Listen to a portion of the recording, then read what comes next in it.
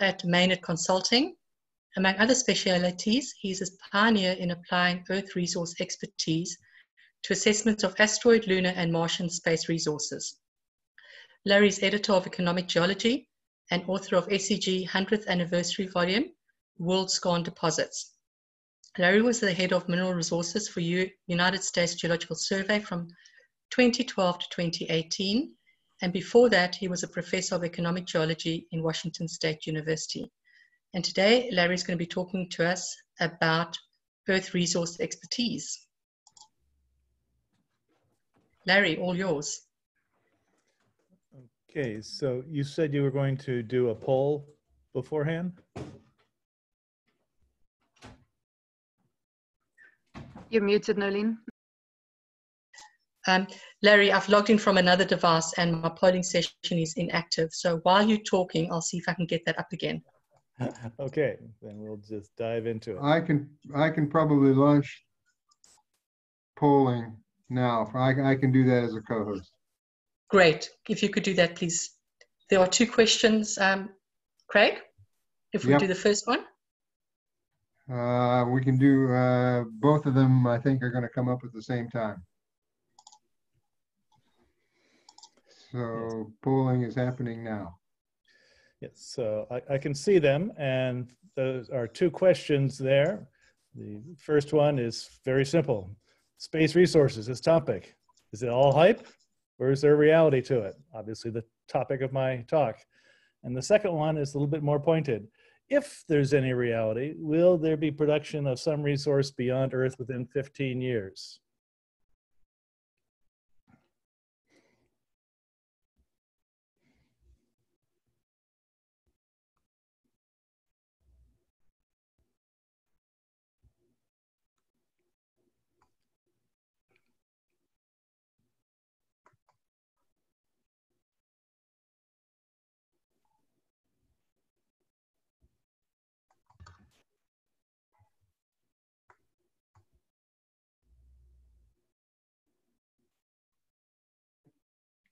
I think I should end the polling now.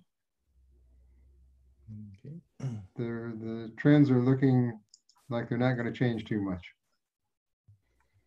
If you could share that, please, Craig. Uh, I'm, um, I thought you could see it. I- I can see it on mine. I think I have to end the polling first. Let's, let's, let's show it at the end of the talk and see how we go. Okay. So I think Larry, take it away. Okay, let me see if I can get rid of the poll on mine. Yep, there it's gone. Okay.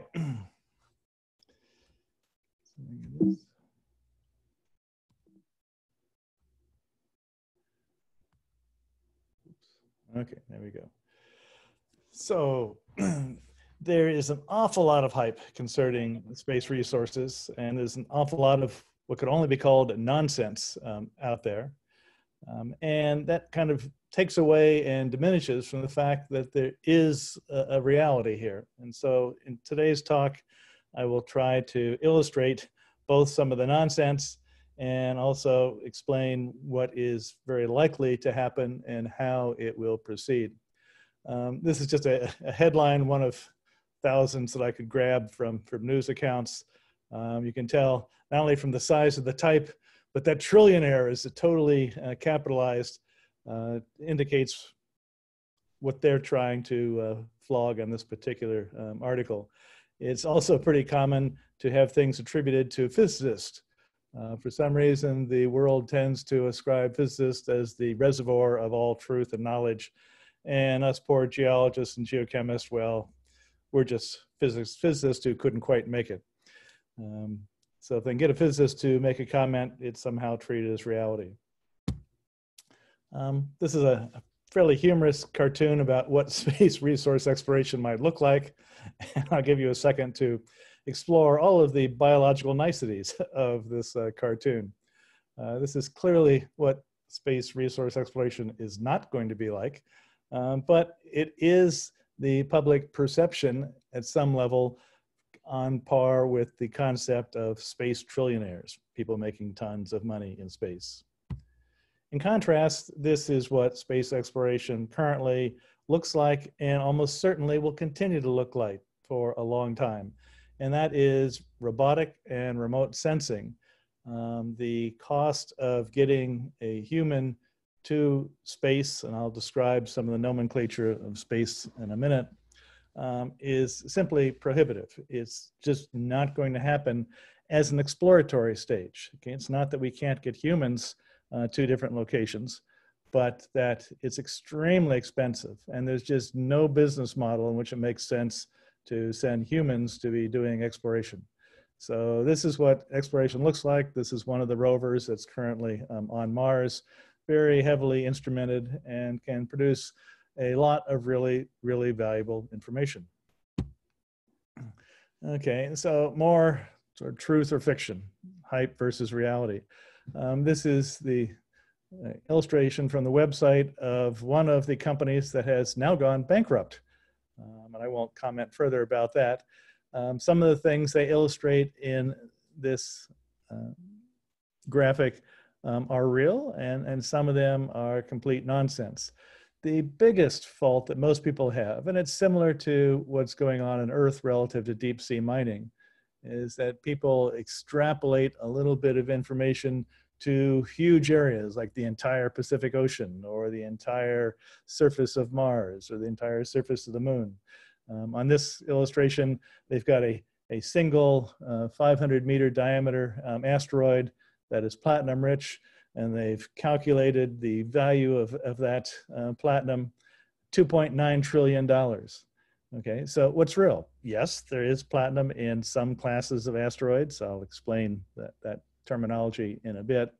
Um, but that it has no value unless you could somehow process it and do something with it. There is almost no need for platinum in space.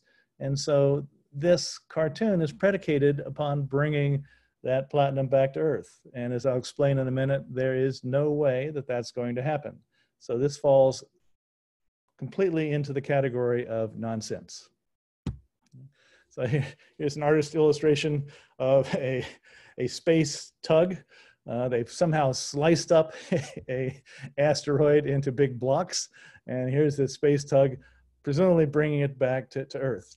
And again, they've calculated the value of, of, of platinum in um, this uh, resource as if you could get it back to Earth. Okay, this will not happen. Okay, for all sorts of reasons. There's no way to actually produce these big blocks out there that look like they were sliced by a diamond saw in somebody's uh, core shed. Um, and there aren't too many diamond saws out there in space. So the idea that you could somehow slice something up and then transport it. But the biggest reason why this will never happen is that this would happen. Okay, this is actually an art installation in Washington, D.C. at uh, the Hirshhorn Museum, um, where somebody has uh, illustrated uh, some sort of space asteroid, bolide, uh, that's come down and squashed somebody's car. Okay, now that's not the, the real issue. The issue is the force of gravity. And I will need to walk through this, uh, but first, just a little bit of nomenclature about different places in space, because I'll be referring to these. So this is not drawn to scale, it's just drawn to illustrate various things. So we've got the, the Earth there on the left, and a variety of orbits. Uh, and the acronyms LEO is low Earth orbit, and that's the one closest to Earth. To have an orbit that close to Earth requires very high speeds to keep something, a satellite or anything else, um, in orbit. So, so gravity doesn't pull it down. As you go further out, you don't need to be going as fast because gravity is weaker. So the middle Earth orbit, uh, the geosynchronous Earth out there is uh, the distance where you can maintain a satellite or some other body um, at a fixed spot over a spot on Earth. In other words, you're going at the same speed as the rotation of the Earth. And then you can have high Earth orbits that may be elliptical that take you much further away from Earth. All of those things are relatively close to Earth. You can see the, the diameter of the furthest one out there is 36,000 uh, kilometers. And that is very small compared to the distance to our nearest celestial object, the moon, which is 400,000 kilometers. So obviously not to scale, but this gives you an idea of the relative placement of these. And so you could have the same terminology for the moon. So LLO is low lunar orbit. And then there are two red dots out there, those Lagrange points, which are equidistant gravitationally from the moon and the earth. So you have one that's in between the moon and the earth and one that's on the far side of the moon. And at that point, you can park an object um, without having to spend energy to keep it there. Okay? So it can be stationary because it's gravitationally equidistant between those two bodies.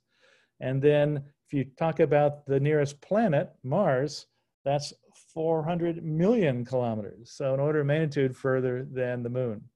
And these things are important because a lot of people, when they talk about things in space, uh, treat the distances as being all roughly equal, okay? And they're not, okay? There's huge differences between these various uh, orbits around uh, the Earth, the distance to the moon, and to Mars. And we won't even mention other galaxies.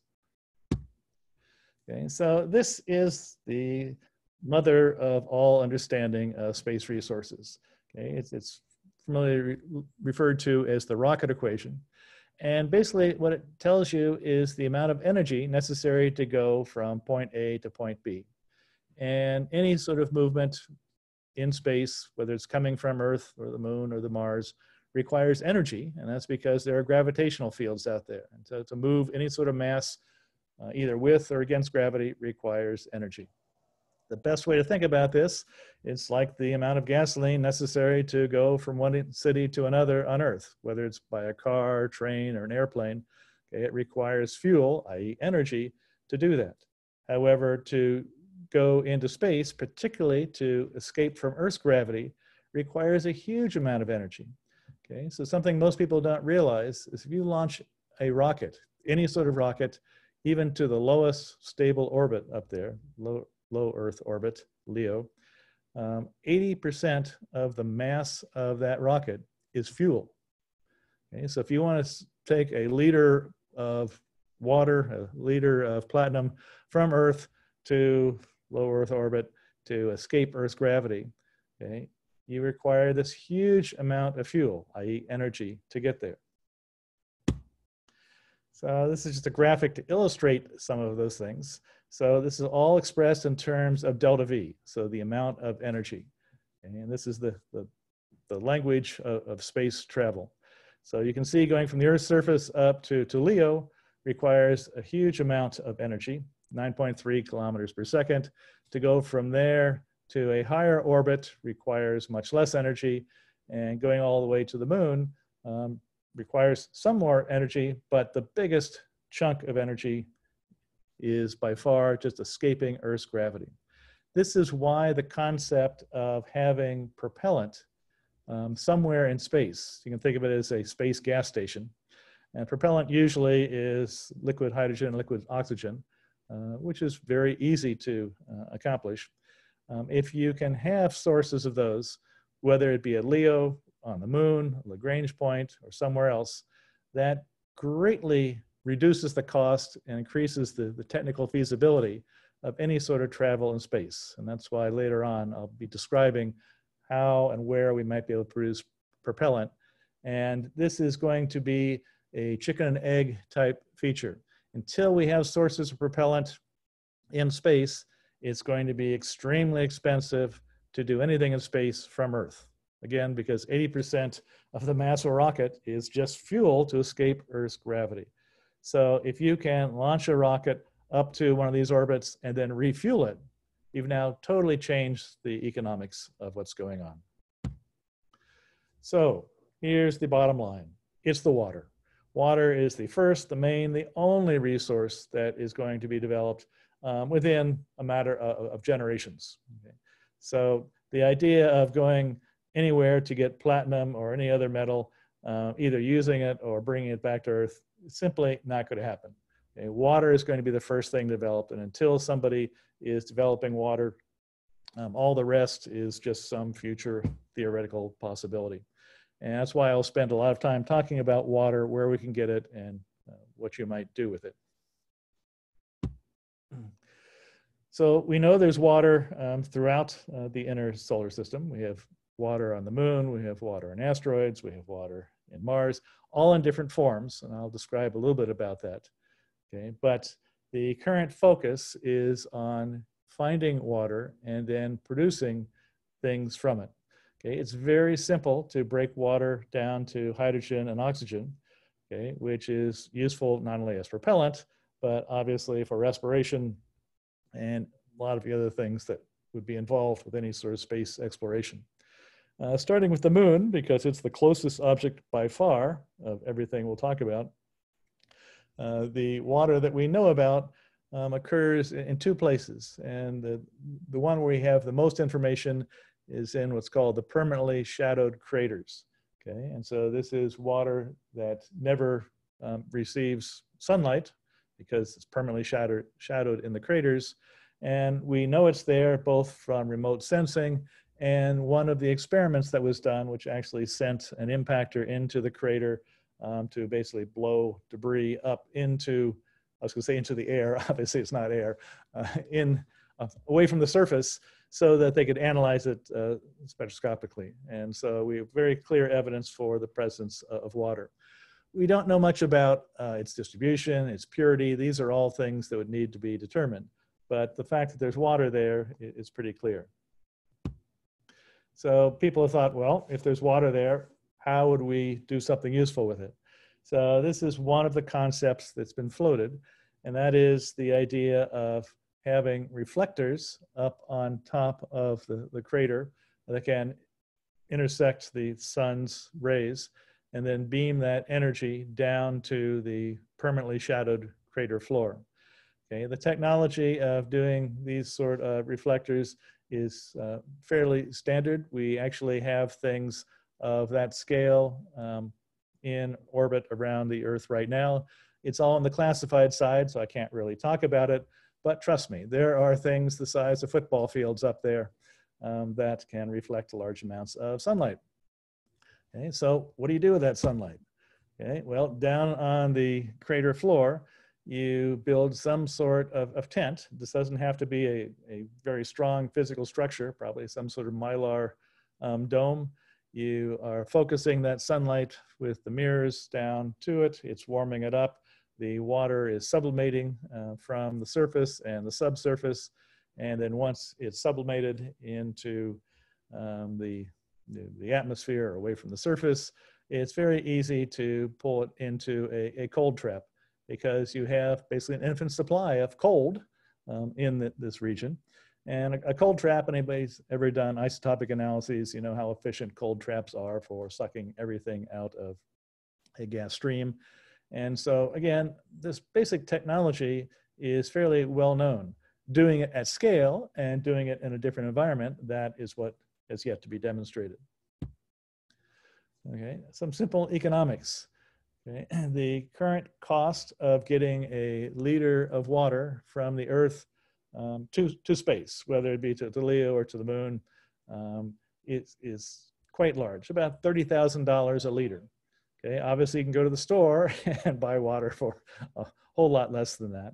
And so these are some models that have been done to um, look at the relative cost and economic advantage of water and producing propellant. And again, breaking water into hydrogen and oxygen is relatively simple, um, just using solar energy and solar energy within the cislunar space. Okay, cislunar just refers to area between the, the Earth and the Moon. Um, solar energy is basically infinite. So you have an unlimited, continuous, 24-7 supply of energy. So breaking water down to hydrogen and oxygen is relatively straightforward. Okay, so on Earth, the cost of water is pretty darn cheap. We just made up a, a, matter of pennies for the water. And then producing that in different places. So if you go out to the moon on, on the far right, you can see that the, the cost of producing it there, um, although non-trivial, is much, much less than bringing it from Earth. So the big blue bar is the cost roughly $30,000 uh, per liter, um, bringing water to the moon from the Earth, and relative to the cost of producing it there. Okay? And then as we move to different places, Lagrange points or the various orbits around Earth, you can see the economics uh, change. But even for LEO, it's slightly cheaper to bring it from the moon all the way back, not to Earth, but to low Earth orbit, um, than it is to bring it from the surface. Okay, they're, they're roughly equal, but that's uh, a real revelation for most people. The idea that you could produce water on the moon, bringing it to LEO cheaper than you could bring water from the surface. And again, it's because of gravity.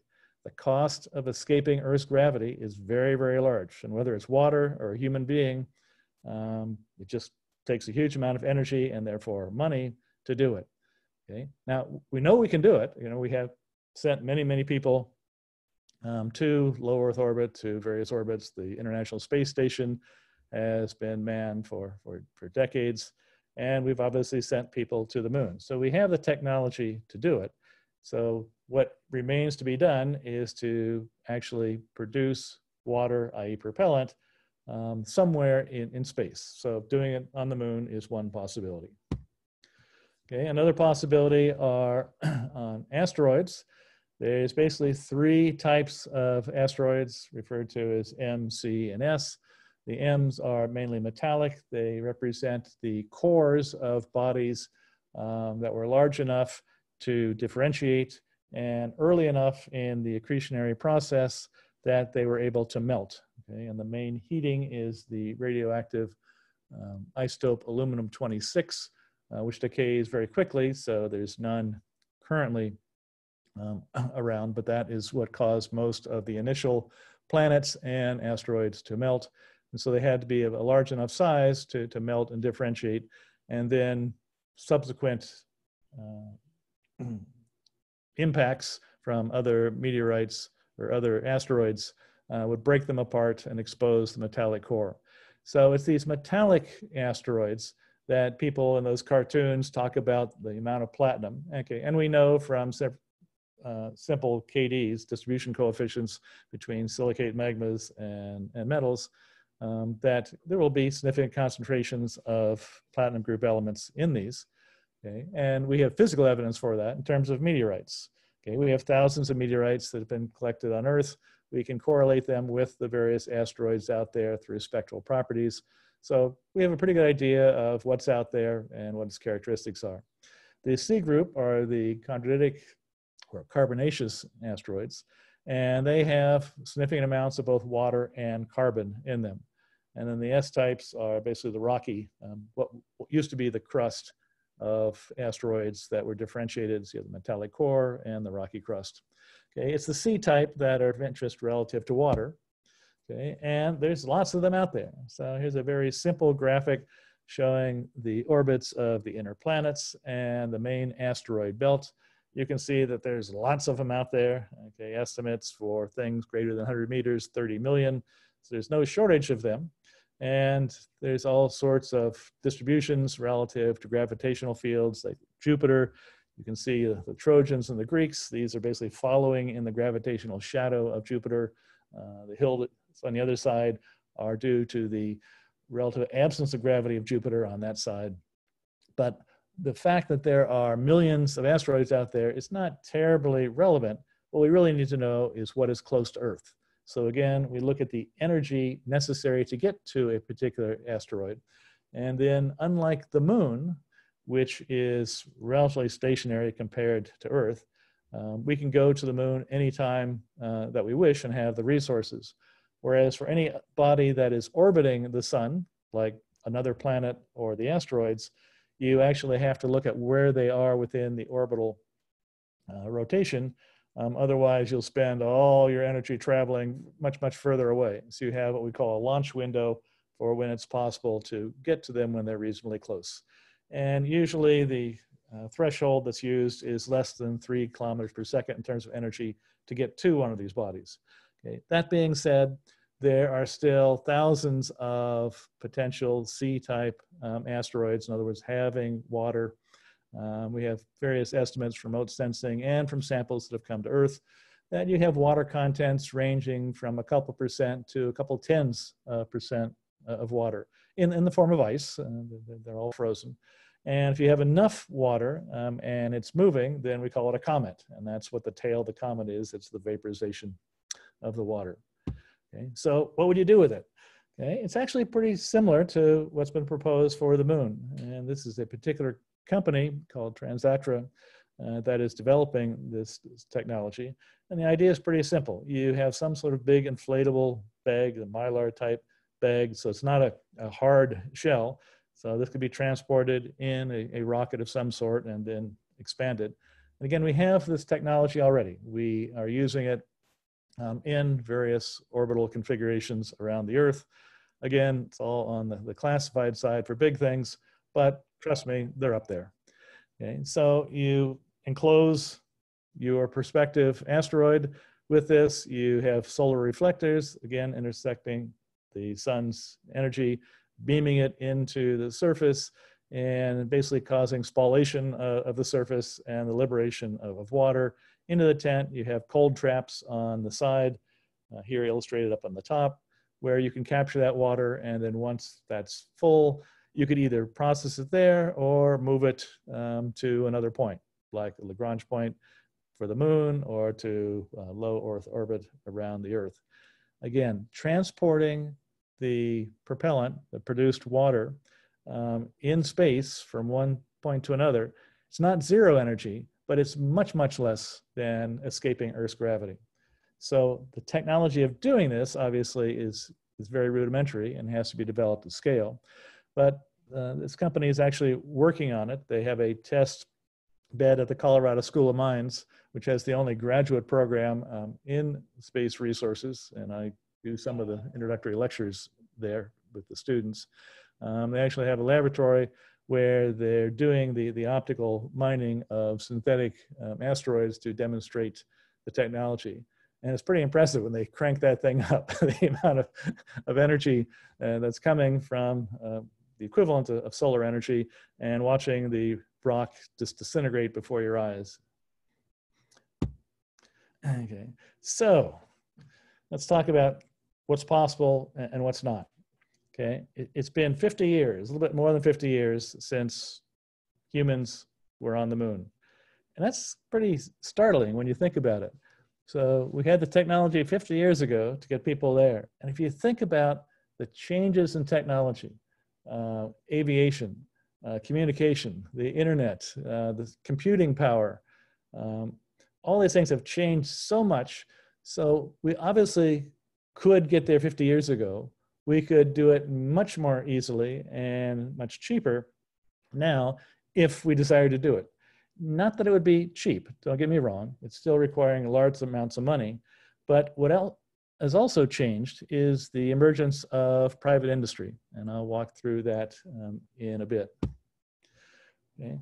Some things have changed in the wrong direction. Um, this was a NASA project uh, called the Resource Prospector, um, which would be basically a, a, rover of sorts to go to the moon and actually start doing some of the sampling that's going to be necessary to do any sort of resource extraction when I'm talking to my friends in the space community, I really have to go back to basics. And for the present audience, you know, you'll just smile.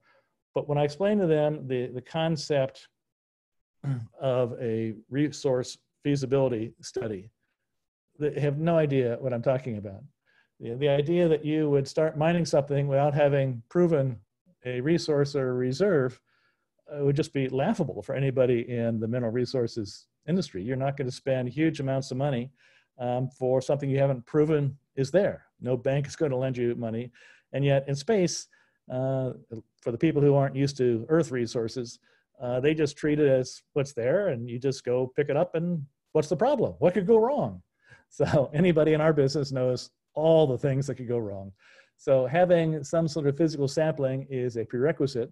Um, this resource prospector was canceled. It's now been resurrected with a scheduled uh, launch in 2023, and it's been renamed uh, Viper. I'm sure is an acronym that stands for something. And so the, the concept that we need to do some, some sampling of the most likely targets for resource extraction um, is, is not totally gone away. Okay, why are we not going forward?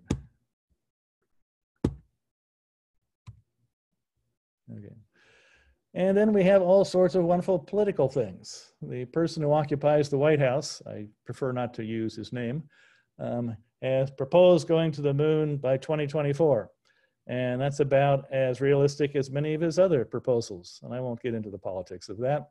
But what it means is that politicians like to say and promise things, particularly when it's beyond their term in office, so that somebody else has to pay for it and do it. Okay, but it just illustrates that it's still on people's mind the idea of going someplace. Uh, why you're going there and what you might do, eh, haven't thought about that too much. And as we get different presidents in office, the aspirations change. So for some presidents, we want to go to Mars. For others, it's going to the moon. And what will happen with governments? Uh, we all have governments we have to deal with, and who knows what will actually happen with them. This is an artist's conception of what it might look like if you were to start developing things on the moon. And again, there's both hype and reality. Um, one, this big physical thing, the cost of transporting any of that from Earth is prohibitive. You're going to have to develop resources in space, and that's going to be robotic. And so the actual technology, and there's several companies who are working this right now, is developing the robotic capability. Um, one of the things they have at the Colorado School of Mines is an at scale 3D printer that's big enough to be able to print buildings. Okay, and when we use the word print, what we're actually talking about is taking the granular regolith, um, mixing it with what you might call cement, um, and using it to actually fabricate a building.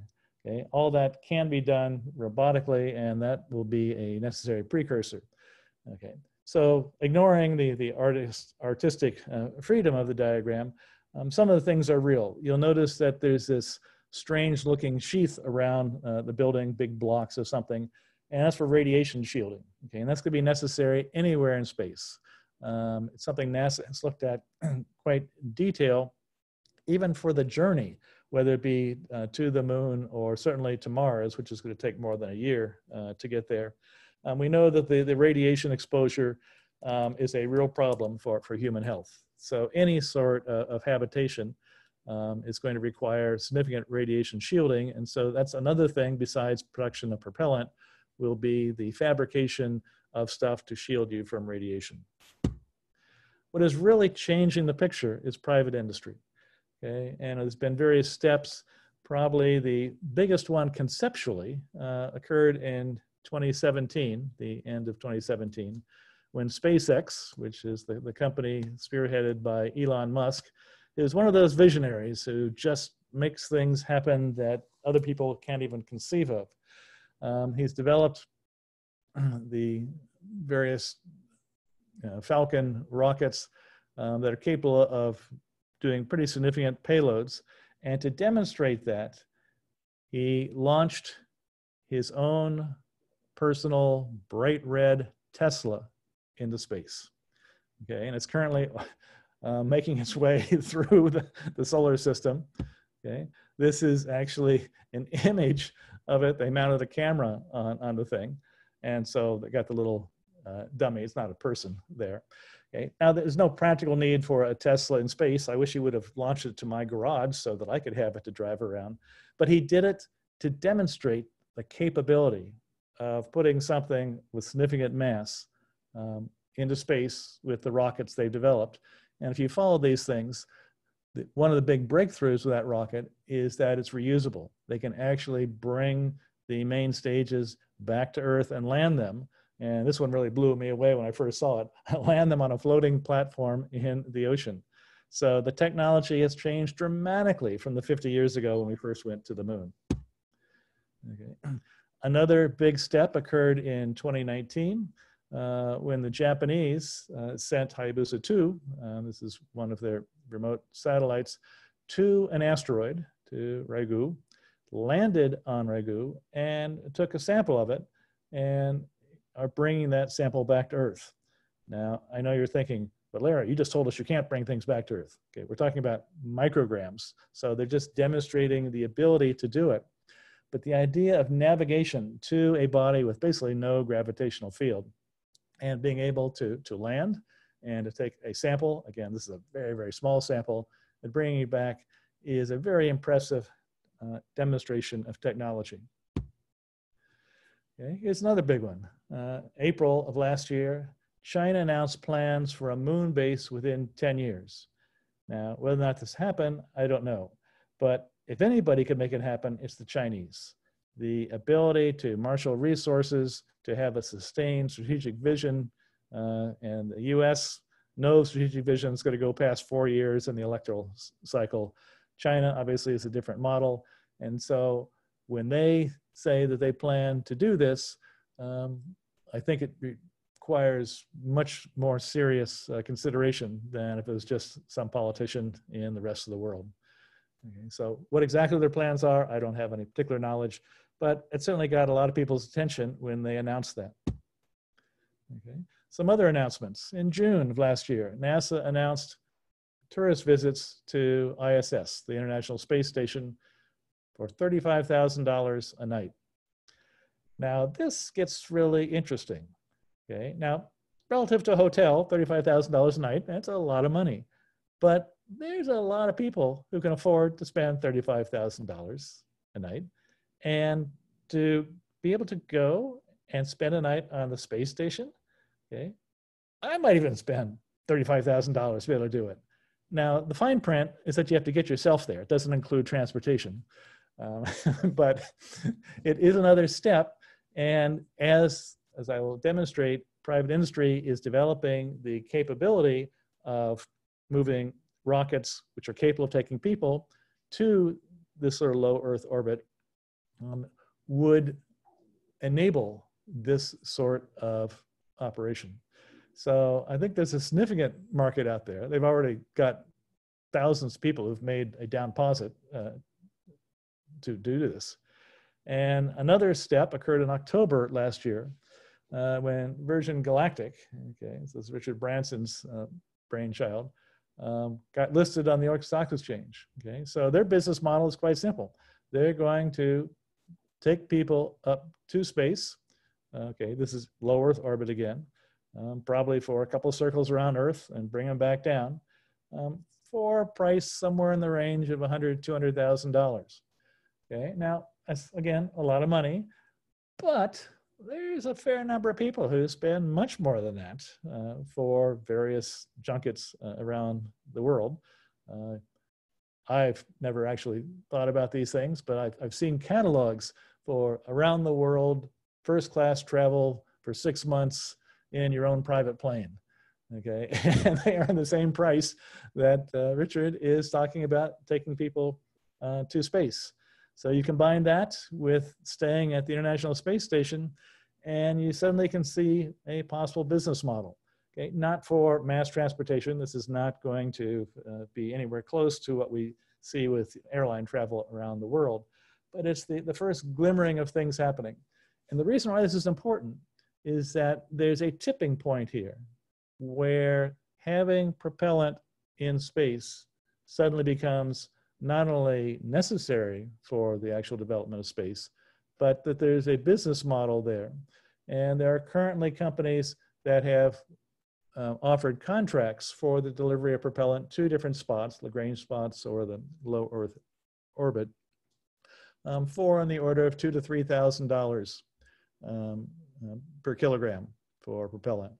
So eventually, uh, this is going to happen. Okay, and almost certainly will be either entirely private industry or a joint venture, so to speak, between governments and private industry. The model for this right now is NASA is contracting uh, with SpaceX to take supplies to their National Space Station. Okay, so NASA, I was going to say, it doesn't have the capability of doing it by themselves. That's not quite true. They could if they spend enough money. It's just that SpaceX can and is doing it cheaper. And so NASA says, okay, well, then we'll just allow that. So it's a small step from relying upon companies like SpaceX to transport supplies to the International Space Station to transporting people to the National Space Station to building a fuel depot um, that would then allow you to go other places much, much cheaper. Okay, another big development.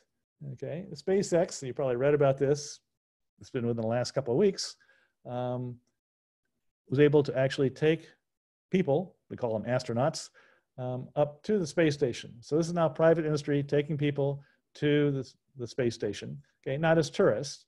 Um, this is just demonstrating the capability for future NASA contracts. And they introduced the concept of fashion. These are the actual spacesuits um, that they have developed. And there's clearly a designer element to this. Not only are they functional, but they look uh, pretty sexy. And they look much different than the ones 50 years ago, uh, where people look like they were, were robots inside the, the spacesuits. So this is another uh, big change in, in, technology. And you can see the, the timeliness of this because the people in the back have masks on. So clearly we are within uh, coronavirus uh, time frame. And it raises the interesting question of, oh my God, what happens if these astronauts have coronavirus and go up to the International Space Station and oops, contaminate somebody who's already up there? Uh, I don't even want to think about the details of that.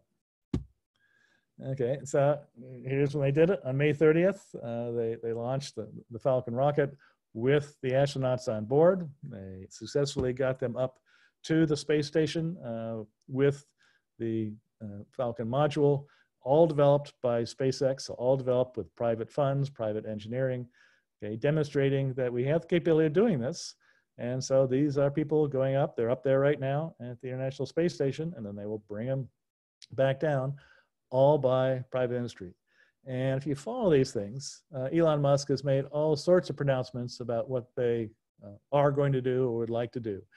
Uh, at least half of them strike me as the, the, nonsense category, but I would never count out a visionary like Elon Musk. I mean, anybody who had the, the gumption to launch his Tesla into space, you know, he says that he's going to have colonies on, on Mars within some time frame.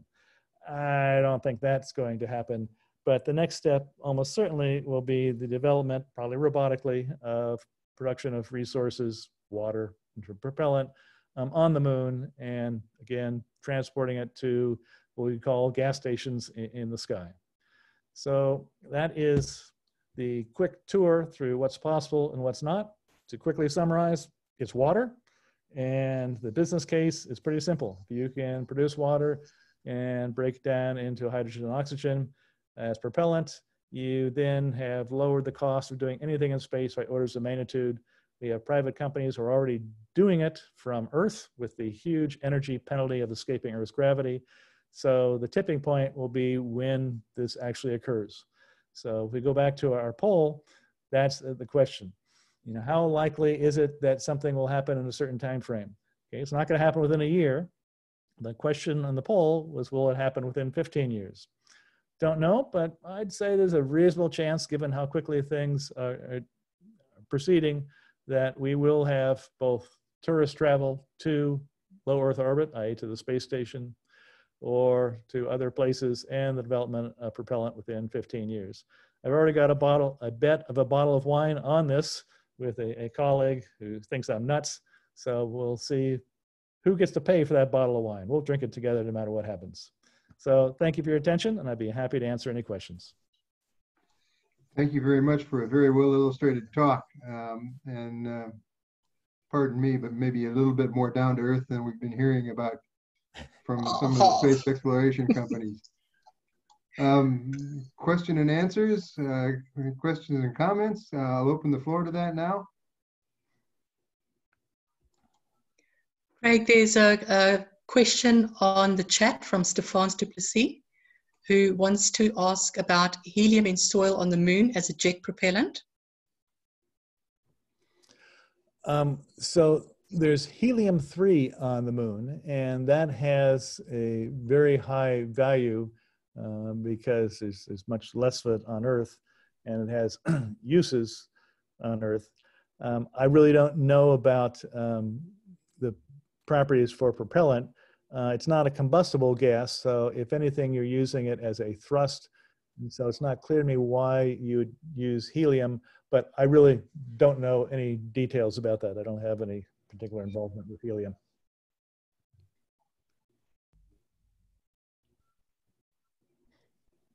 Any other questions or comments?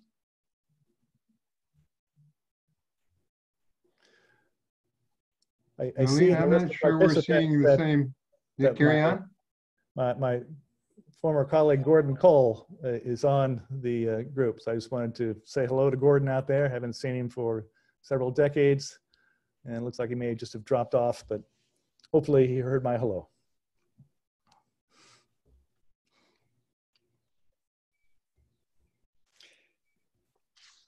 Hello, Craig. Yes. Uh, this is Tinus Kluter speaking. I've got a Tina. question for Larry. It doesn't have direct bearing on your presentation, but you said earlier that aluminum 26 um, did exist once on Earth or on the planets, and it uh, was used, or it was, it induced heating uh, and melting of the larger planets. So how how did people realize that aluminum 26 uh, exists or exists elsewhere if it doesn't exist on Earth? Okay, so uh, let me clarify this. Um, if you get into cosmochemistry, um, how um, stars and planets form, okay, and I'm greatly simplifying this, okay, when you have a, a supernova that um, is a star exploding, um, it spreads uh, material that's generated from that explosion through a large volume of space that then can coalesce into um, various gas clouds, into more stars, into more planets. So aluminum 26 is one of many um, isotopes that are generated during that supernova process. And so that'd be time zero. So if we think about our solar system, okay, at one point it was simply a gas cloud, again, the remnants of previous supernovas. And so you would have a lot of elements that are only generated um, during that sort of supernova explosion. Okay, all the heavy elements and, and, and various isotopes. And it's not that they're not present somewhere else. It's just they have a relatively short lifetime, which is why they generate a lot of heat. So within, and I don't remember what the half-life of aluminum 26 is. Uh, I think it's like a million years. So within uh, 100 million years, it's basically down to zero. Okay, so it's not that it didn't exist, but um, it is decaying rapidly enough that there's none left. Okay, after a certain amount of time. So during that first, let's just say 100 million years, um, you had enough aluminum 26 and other isotopes as well, um, but that is a fairly abundant one, um, generate enough heat that as you coalesce enough dust from the original gas cloud to a body, whether we call it an asteroid or a planet, and that's just a size distinction. Once you get to a certain critical mass, no pun intended, um, you will cause melting. Okay, so during the early history of the solar system, we did coalesce the gas into the sun in the, the middle of it, and then the various planets at different distances. And they have different compositions because of that radial distance uh, from the sun. Um, but the aluminum 26 um, was present everywhere. So when I say it's not present on Earth, it's just not present anywhere because of decay. So if you go back to the first million years of our solar system, then certainly what became Earth would have had aluminum 26, which is why we have a metallic core and a molten uh, core around that from the initial heat. We have a question from the chat box. Um, uh, Mataji, you've got your hand up?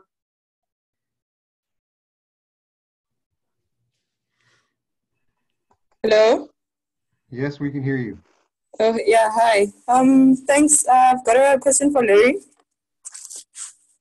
Yes. Um, so I was just wondering, are there any like environmental risks that um, we should be concerned about with doing uh, space resource exploration? Because I know with um, you know with uh, some of the nodule exploration in the sea, that has not really been there hasn't really been much progress because of uh, some of the you know pollution that's associated with that.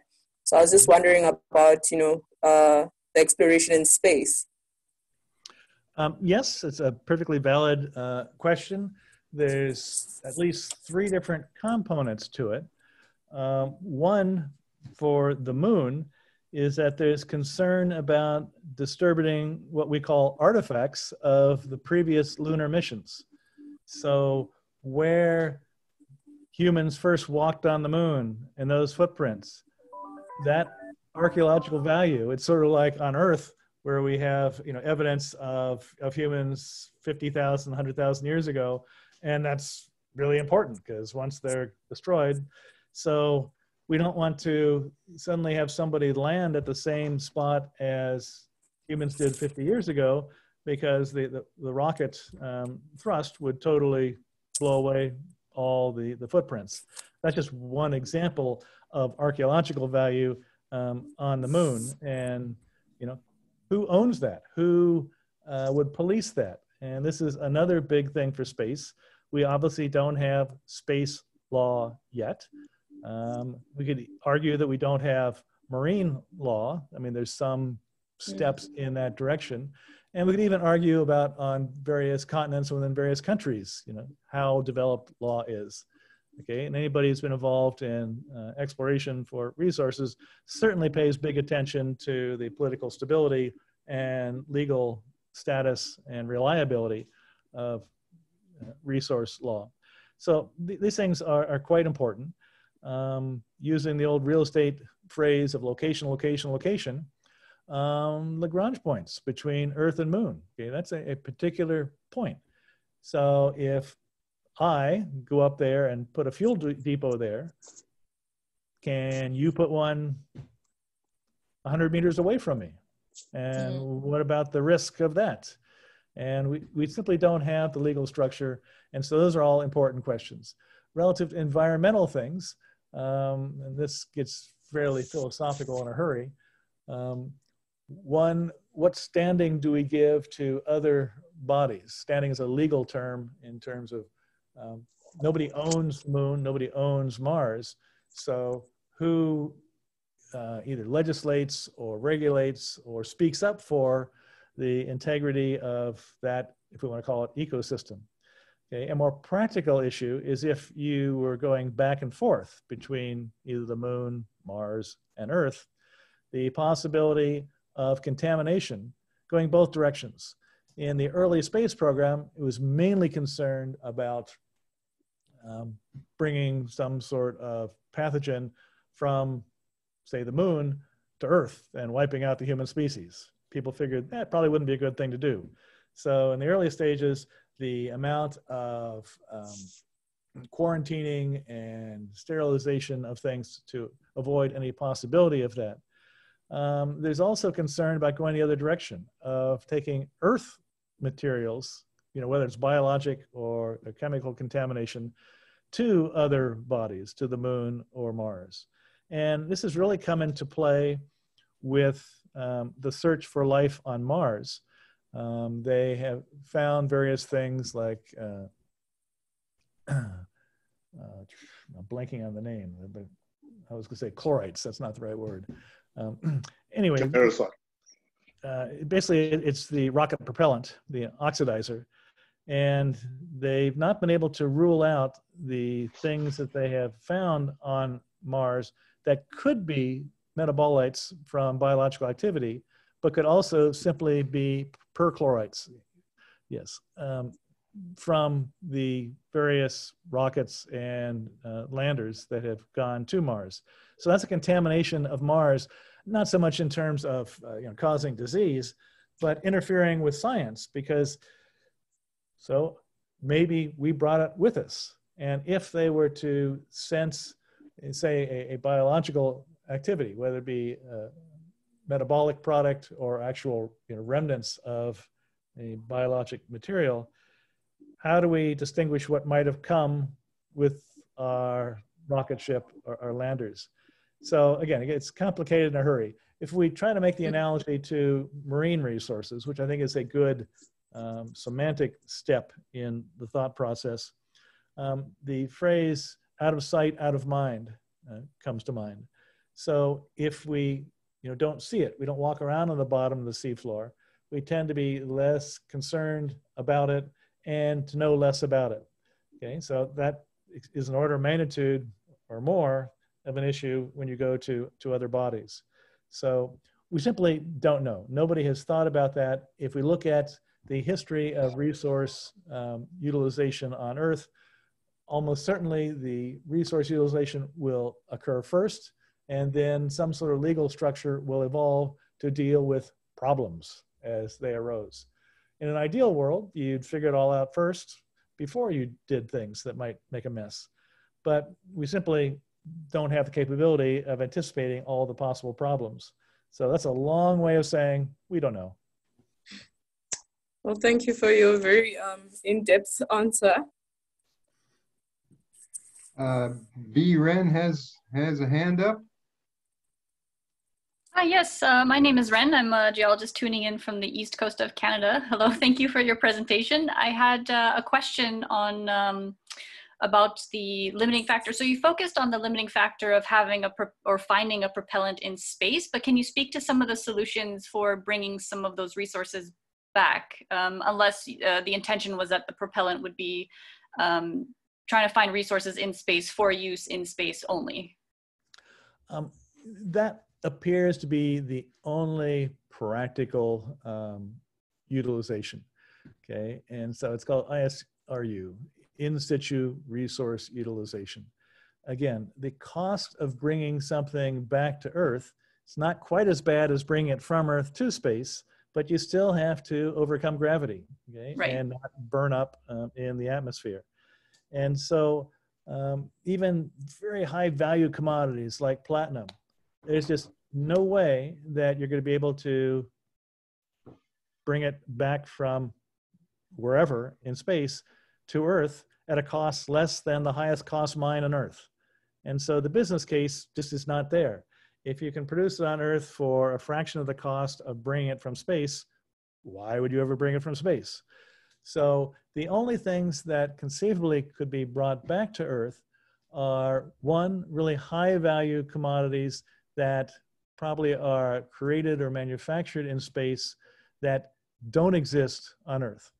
Okay, and some examples have been floated out there, and uh, I wrote a, a, paper on this in the SEG newsletter about a year ago, and it explained some of this. So one of them is growing optically continuous um, crystals in space. So the current bandwidth restriction on all of our fiber optics communications is the actual um, called sort of frictional loss, the, the, the loss of, of, light as it travels through a crystal. And we know that if you can go down the c-axis of a, a, quartz crystal, um, that the, the loss uh, of energy is less than if you're going uh, perpendicular to the c-axis. Okay, so this, in terms of glasses on Earth, doesn't really make a, a big difference. We're at the limiting factor right now. However, it is possible if you can get into to space where you don't have gravity, you could grow a single continuous quartz crystal of, of infinite length, and it would have a transmission capability uh, several times higher than what we could do on Earth. And the mass of such a fiber optic um, thread uh, would be quite low. So there you have the possibility of creating something that has capability that you could not do on Earth, and its um, mass in terms of transport is, relatively small. Uh, another example people have talked about, and somebody alluded to earlier, is helium-3 on the moon. Uh, simply because the, the, the, resources on Earth are quite limited. They byproducts of uh, petroleum and natural gas uh, production. And I don't know all the uses of helium-3. I think it's in reactors or something or other. Um, and so, but people have talked about the fact that we can get helium-3 on the moon. And the reason on the moon is because of solar bombardment uh, creating helium-3. Um, how you would actually produce it and transport it is a, a separate issue. Um, but again, it's something that doesn't um, exist on Earth. And so what are the unique properties in space? Well, we basically have very low gravity and we have no atmosphere. We have very cold temperatures. So things that either would not be possible or would cost a lot of money, say to maintain a, a cold room, you know, at close to absolute zero, um, you could do, um, you know, for free or at much lower cost and space. And so that raises the question of manufacturing something that would then be economic to come back to Earth. But in general, the idea of going up there and grabbing a boulder and coming back to Earth is simply not going to happen because the business case is just not realistic. And all that's due to gravity of Earth. So, again, a long answer to a short question no, I don't see anything coming from space to Earth. Um, and if it does, it's going to be a real niche market. So, the 800 pound gorilla is going to be water and it's using it in space. And number two will be bulk materials for manufacturing, buildings, radiation shielding, and the bulk of that will be done um, robotically. So the development of the robotic capability uh, of doing that is something that several companies are really focusing on. If you want to see an example of it, if you uh, look up Off-World Mining, it's a, a company that specializes in robotics, and they're basically training their systems in earth mines where robotic capability is, is, useful, either due to high heat or radioactivity, other things that having people there, it's not such a great idea. Um, and their focus is in developing the technology so that it can be used once there's a call for it, and obviously a business model in space. Right. Thank you. Thank you very much. Thanks for that. That answers uh, one one of the questions in the, in the, in the chat room. There's a second one concerning how mine waste will be addressed um, in space. Uh, has there been any thinking thinking done about that at this stage? No, but I refer to my previous answer. You know, out of sight, out of mind. Um, just like you know, mining on the seafloor. Well, what's the problem with waste? You just kind of dump it over there. Nobody can see it. So you're, you're on the moon, and assuming you are separating, let's say you're, you're mining water. And so the stuff that's not water, we call waste, is going to be what? Returned to the bottom of the crater. Um, does anybody care? We're probably not going to go back to a, a crater once it's mined. There's probably not going to be tourists going to the crater. But these are things that, one, we haven't really thought about. Two, will be a subsequent stage, in my opinion, after the, the resource development, just like human history on Earth. Um, there's sort of a need or desire to, to do things, and then that will expose um, various potential problems, such as waste, and what should we be doing with it. Um, so the short answer is no, people haven't really thought about in detail beyond just the general arm waving. Yeah, we'll do something with it. Okay, thank you very much. With that, I, th I think we'll close the, the session. Um, I'd like to thank you very much for presenting this, and uh, we'd like to note the, our sponsors for the month of June, who's Dennis Blewett and the Ge GeoExplore uh, store, who's uh, kindly put up some money to allow us to have these lectures. Mildeen, would you like to say anything to close out? Um, I'd just like to say thanks, Larry. That was fascinating um, and at times laugh out loud. My dog ran away. I was laughing so much. Um, and we're looking forward to your next talk about scones. Everybody else, thanks for joining us, and we'll be back tomorrow, Friday. I'm going to end the meeting now.